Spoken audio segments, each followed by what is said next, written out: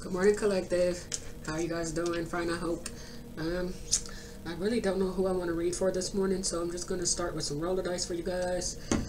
Got the cards, Palo Santo stuff. Got my Florida water here. Not going to keep my face on the camera for the whole time. I just thought I'd give you guys a little bit of FaceTime this morning, as I have not been doing so um, in the recent past. So we'll do a roller dice reading. We'll get you guys your reading for the day. I hope everyone has a great Friday. And let's see what we get here.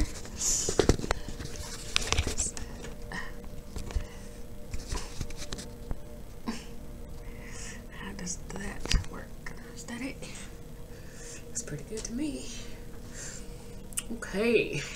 Some roll of dice. Whatever sign we get. Where's the sign card?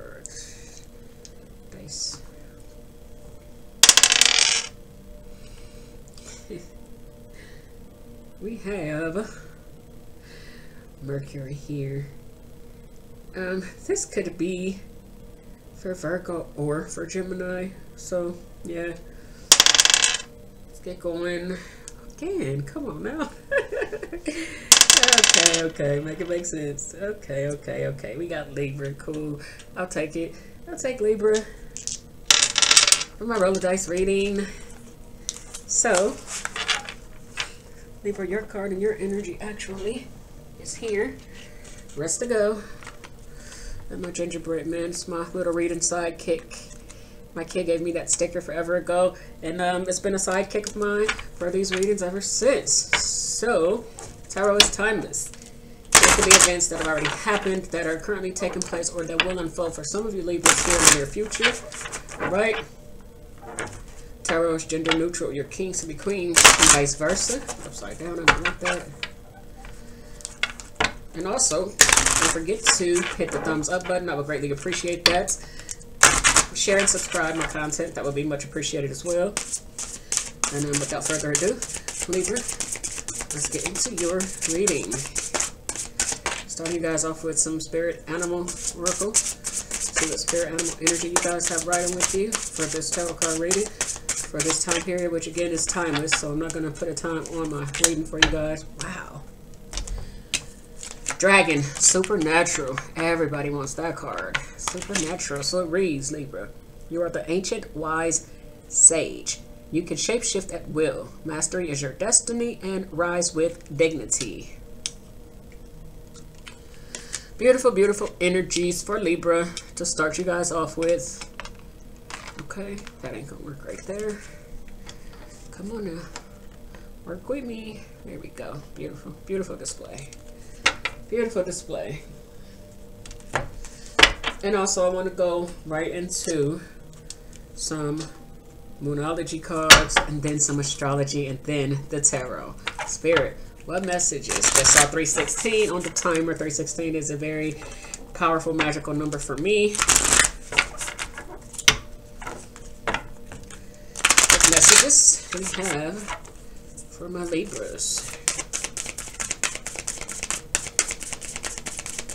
From the Moonology deck, what messages we whoa, have those cards fly like that. Conclusions are within reach. Full moon eclipse.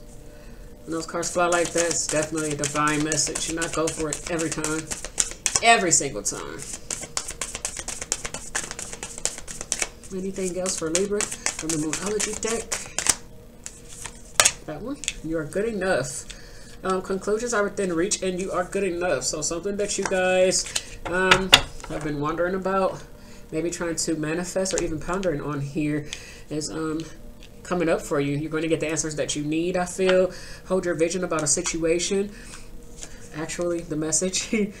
holding your message, holding your vision about a situation that you wonder about, you've worried about, or you could really be pondering heavily on is um coming to conclusion really soon. Know that you are good enough for whatever it is that it is that you want.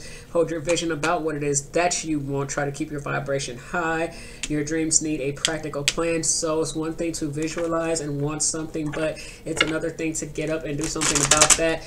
Um, begin to put one foot in front of the other and just begin to walk towards it. And you'll be surprised at what will come into your experience. The supernatural energy with the dragon um, that would show up and help you here, right? Beautiful messages, beautiful energy I get from that.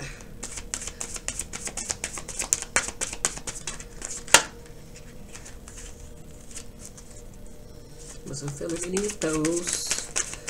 What else do we have from the astrology deck for Libra Spirit? What do we have from the astrology deck this morning for Libra?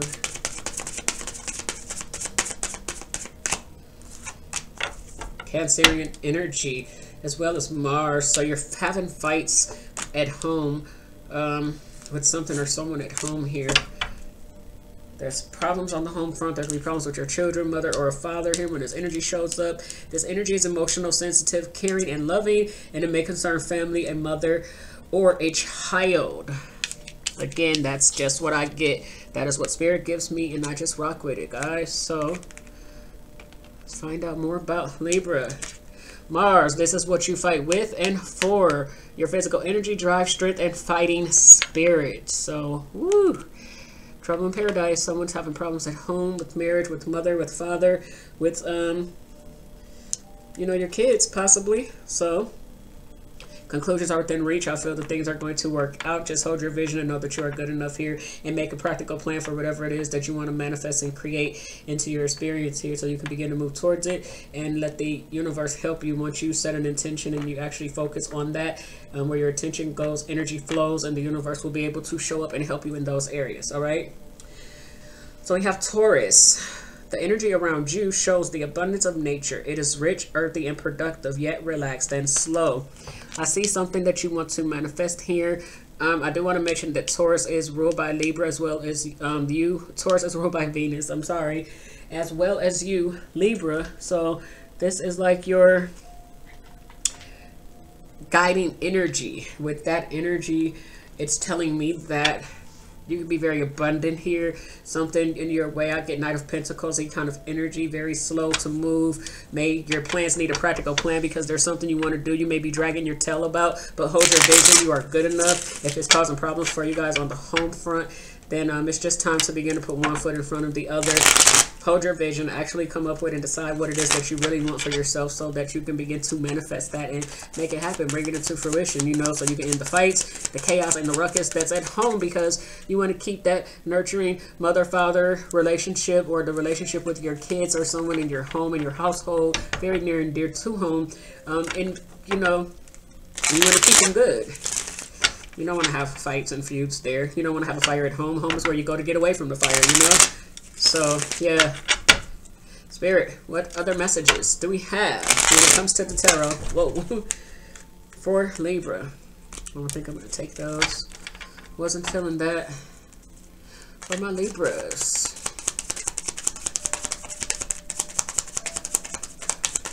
For my Libras. There you go. King of Pentacles with the Taurus. Okay. Some of you guys are strongly dealing with a Virgo, Taurus, or Capricorn energy here.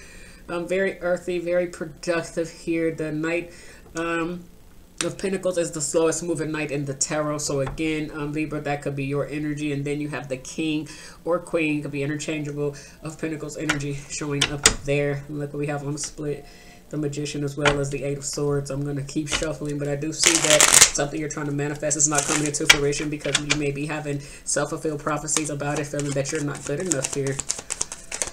Four of Swords jumped out. See what else we get? Your cards are jumpers today. Jeez Louise. I'm talking about jumpers all over the place. Wow. Crazy, yo.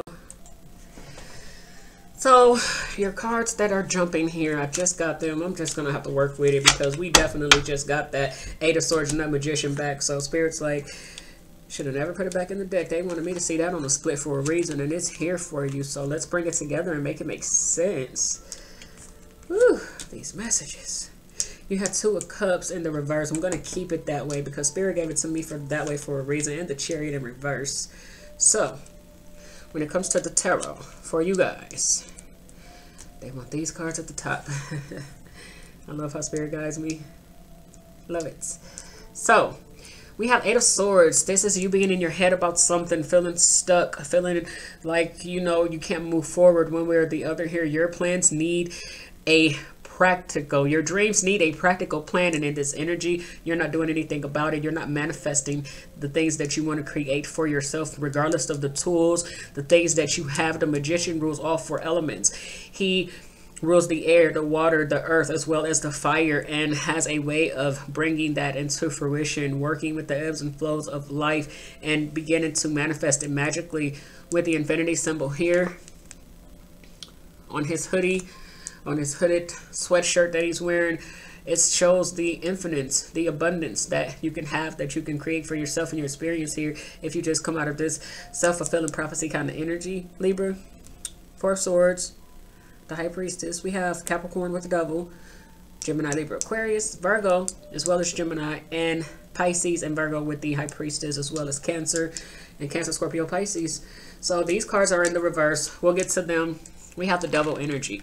This Devil energy here for you guys, to me, is saying that some of you guys may have addictions, maybe dealing with or fighting with something or someone could be on the home front. That could even be going back at home, fighting with someone, mother, father, kids, that has a tendency to have addictions or be obsessed or obsessively in some type of energy of something that is blocking them from ascending, blocking their intuition here when the high priestess shows up. There's secrets that are being held back, but the high priestess, you can't pull a wool over her eyes. Um, she knows all, she sees all. She's very connected to the Akashic records, to her intuition and she listens to and feels. That's why the eyes of the high priestess here is closed because it's not more so of what she can see, it's what she can feel, it's what she knows intuitively, and she guides.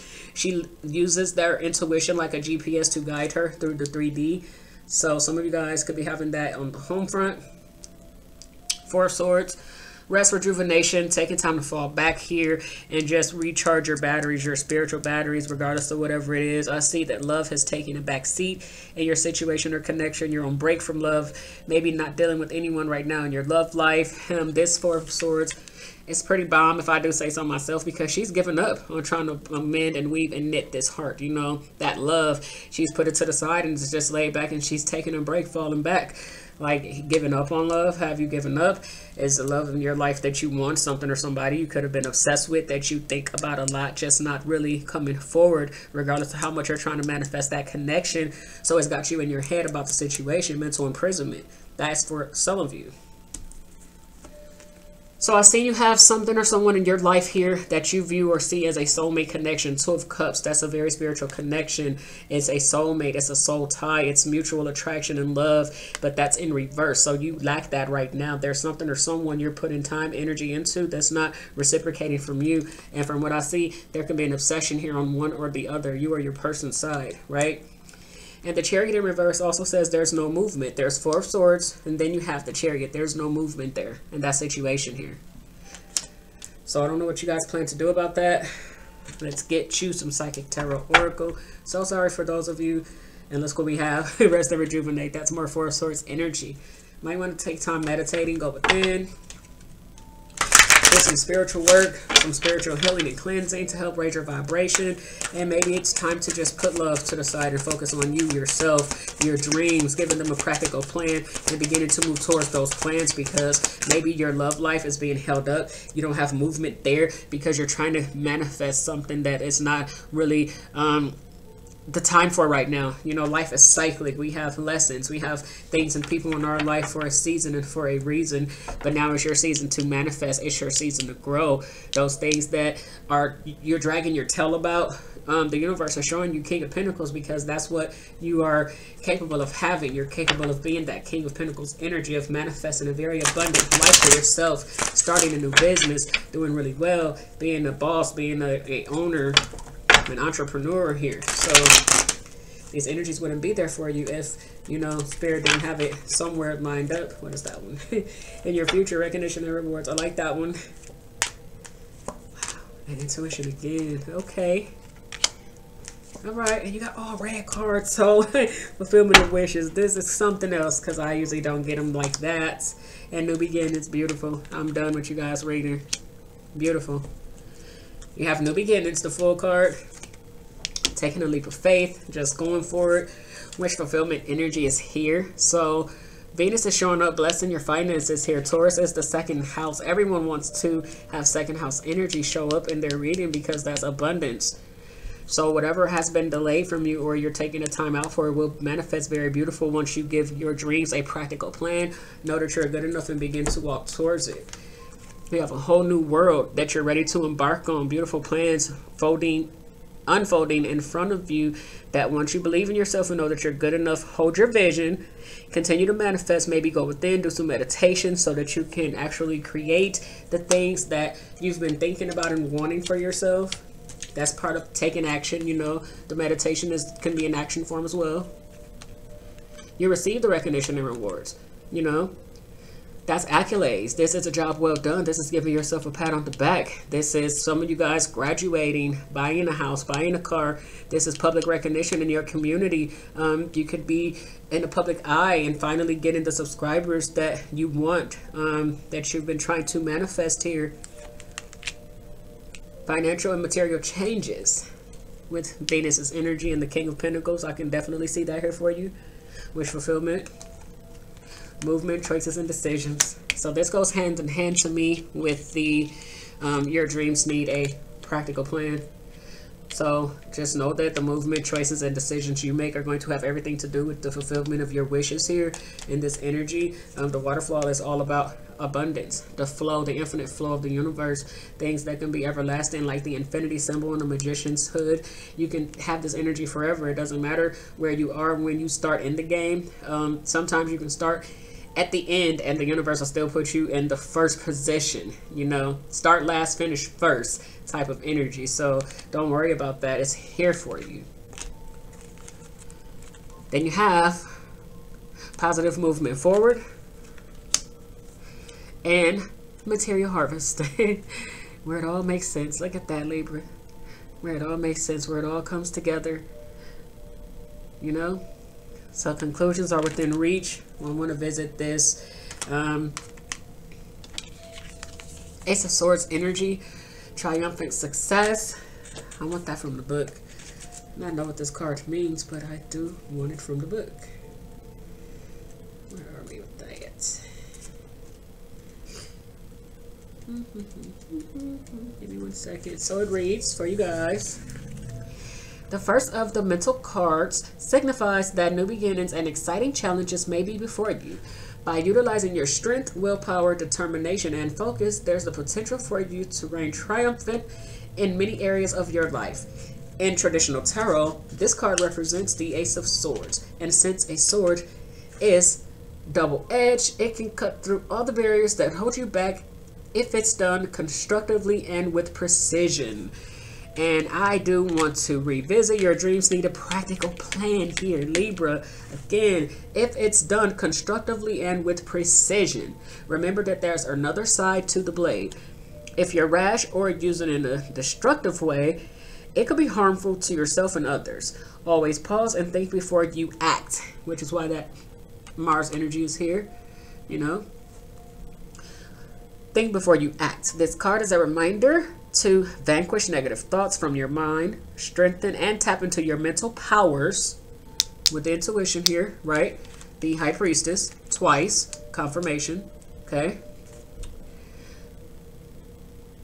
And use clarity with control in order to initiate new ways of thinking. And bow.